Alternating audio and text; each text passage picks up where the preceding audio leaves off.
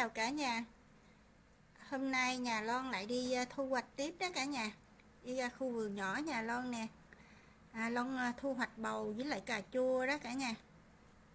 Lon mời cả nhà cùng đi với gia đình Lon nha. Hôm nay mấy cái bầu cũng lớn quá nè cả nhà. Cái loại bầu này là bầu dài nè. À, Đợt trước mình hái là những cái loại bầu nhật á Cái trái nó tròn mà nó ngắn á cả nhà hôm nay những cái à, trái bầu này à, giống của Việt Nam mình đó thành ra nó trái nó dài hơn. Nhìn hôm nay cái trái nó nhiều hết cả nhà ha nè được mấy trái đây nè. Hôm nay Lon sẽ hái cái à, mấy trái bầu này về Lon sẽ làm chua. À, với lại à, Lon sẽ phơi khô đây mấy trái bầu nhìn nó non mướt nhìn nó ngon quá cả nhà ha. Đây là những à, cây đậu biếc của nhà lon nè. Ở đây có một trái này lớn rồi nè cả nhà. Đó. Bây giờ lon sẽ cắt cái trái này trước nha cả nhà. À, cả nhà nhìn xem. Nhìn nó non nó ngon quá trời luôn á. Đó nhìn nó non non mướt luôn á. Cắt luôn trái này luôn.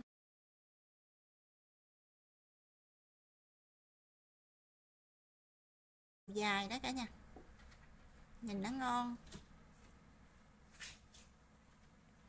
Ăn cắt luôn trái này cả nhà. Còn bên đây, mấy trái à, nhỏ nhỏ ở đây nó cũng đang ra này cả nhà. Trái nhỏ nhỏ nó nhiều lắm.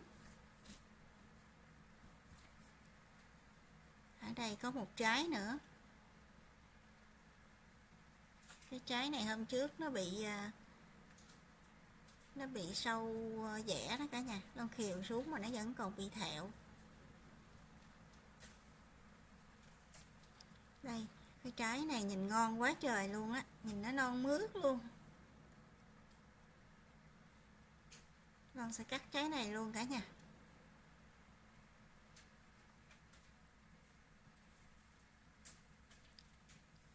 Wow, nhìn nó non quá trời non luôn á. Cắt luôn trái này luôn cả nhà ơi.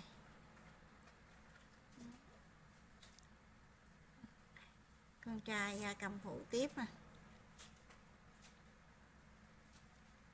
Rồi cầm hai trái luôn đó cả nhà. Thích lắm. Ngày Chủ nhật nghĩ là đòi đi theo để à, thu hoạch với má.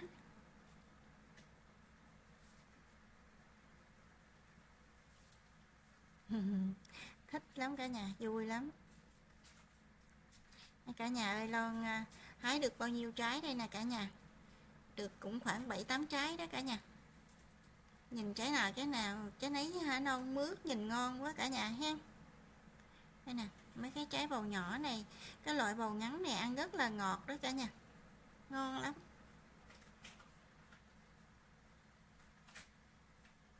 Đây đây là những cây măng tây của nhà lon nè cả nhà nó dày nó nhiều lắm. Cái này là rau ngò ôm. Hôm trước á, lon à, lon mua tiệm Việt Nam về lon à, gầy giống đó cả nhà. Đây là dây đậu đây là dây đậu rồng chứ đậu rồng á cả nhà. Đậu rồng mùa này nó không có đậu cả nhà ơi. Nó rụng bông hết trơn à nó rụng quá trời bông dưới đất luôn á cả nhà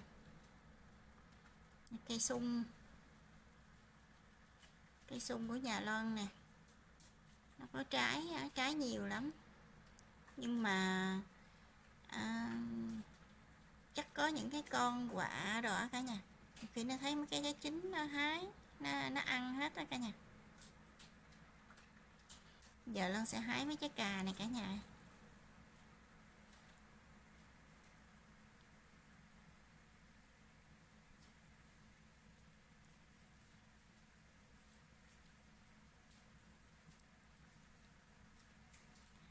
Ít cà ở đây nhiều lắm cả nhà. Mới hái thôi mà giờ cũng quá trời trái đó cả nhà.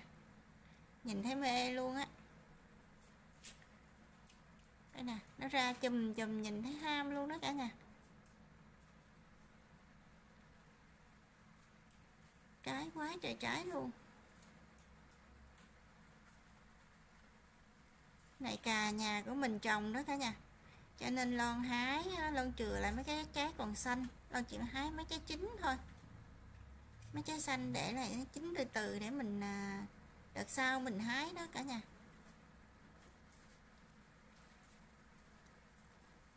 Trái chín đỏ hết đó cả nhà. Đụng tới là nó rụng à. Đó. quá trời nhiều luôn.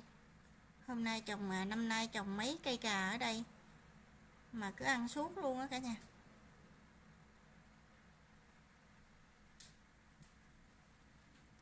Nhìn thấy ham lắm. Năm nay trồng mấy cây cà này ham lắm. Sang năm lon sẽ kiếm giống này lon trồng tiếp với cả nhà. Bên đây hả, không biết cái loại cà nào ngon, không ngon, cứ mua trồng thử đó cả nhà. Thử loại này, thử à, loại tròn, thử loại dài, nhiều loại cà lắm.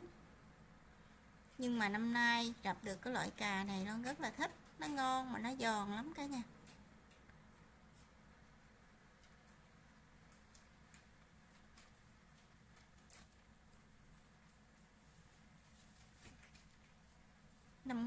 Thì hạ lon trồng ở đây à, là à, cà trái lớn cả nhà. Con chỉ trồng một cây à, cà trái nhỏ thôi mà năm ngoái không có ngon cái trái nó lạc lắm. Mua cái loại cà kia sao cái trái nó không có được ngọt.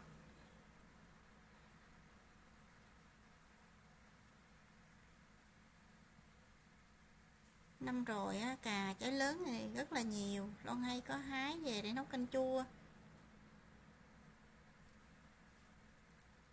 Cả nhà nhìn xem, thấy mê chưa? Quá trời trái luôn đó.